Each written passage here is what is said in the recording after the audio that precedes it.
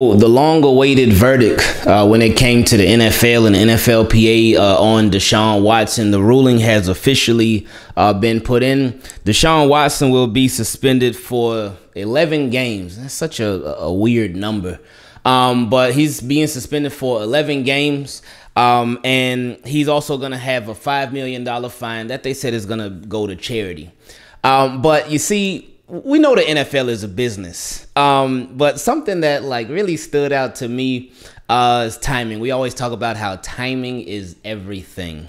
And with Deshaun Watson, initially, uh, with the initial ruling that wasn't from the NFL, uh, it was from Sue Robinson. With the initial ruling, they gave Deshaun Watson six games. It was like, all right. And, and we knew like when, when Deshaun Watson comes back to play, it's going to be must see TV. It's going to be all eyes on Cleveland and whatever other team they're going against. So initially, his first game back was going to be against the Baltimore Ravens. AFC North. This rivalry game, division game. Da, da, da, da. You get it. And, and that was going to be a, a, big game, obviously. NFL would have been glued on to that game. Oh, how's Deshaun Watson going to look?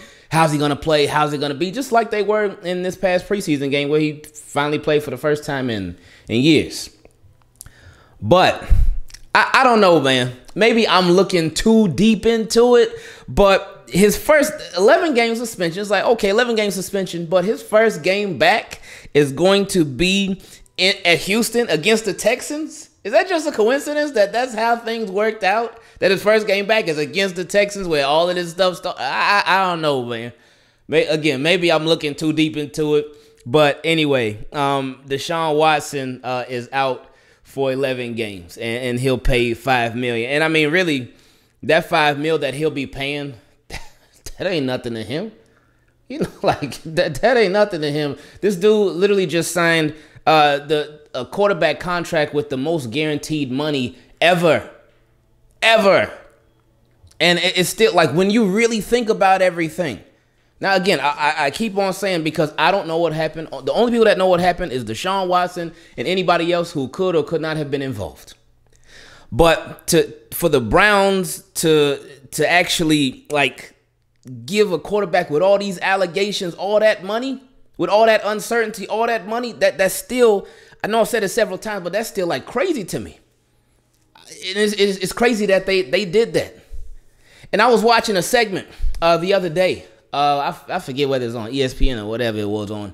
But I was watching a segment the other day where uh, they were talking about Lamar Jackson and his contract negotiations with the Ravens and whatnot.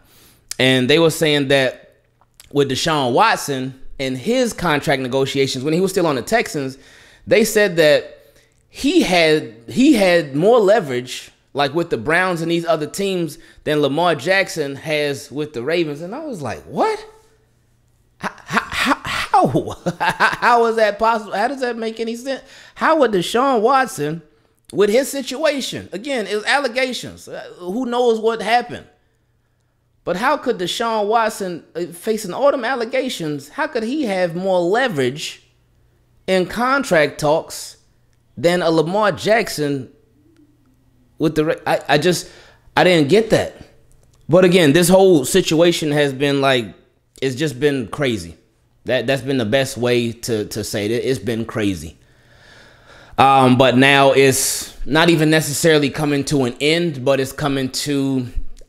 Can we even call it a resolution? I don't know, but it's it's coming to a. There, there's been a decision.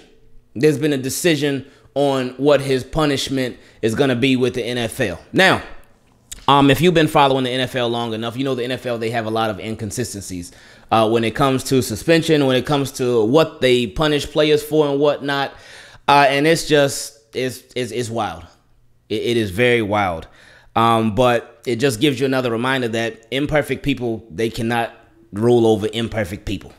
It's just there's always going to be hiccups. There's always going to be mistakes. There's always going to be problems. There's always going to be errors. There's always going to be issues every single time. Um, but yeah, this this is just it's just been crazy. I mean, I don't even know what else to say about it. Um, but yeah, so that's it.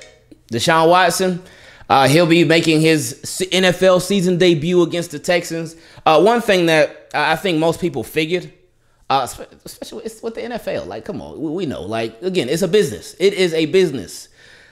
I think most people figured like Deshaun Watson was not going to be suspended for the entire year.